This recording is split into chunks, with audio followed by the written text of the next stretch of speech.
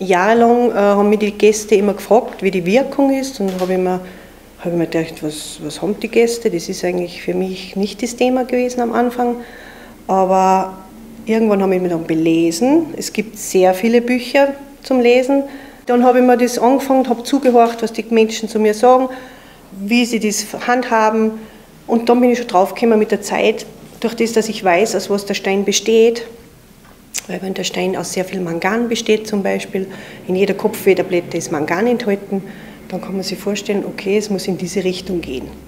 Ich trage immer irgendeinen Stein an mir, wenn es nicht zur Mode passt, dann habe ich den im BH, wenn ich das so sagen darf.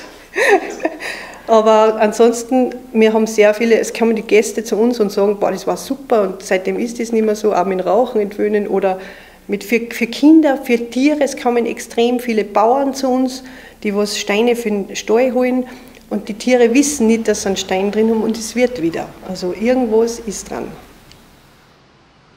Ein Großteil der Kunden kommt wegen Schmuck zu uns, weil den Schmuck mache ich alles, fast zur Gänze alles selber.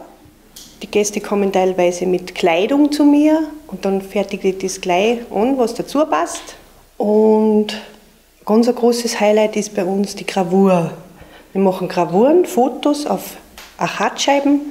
Das wird per Handy geschickt, wird am Computer bearbeitet und meine, meine Tochter graviert es dann.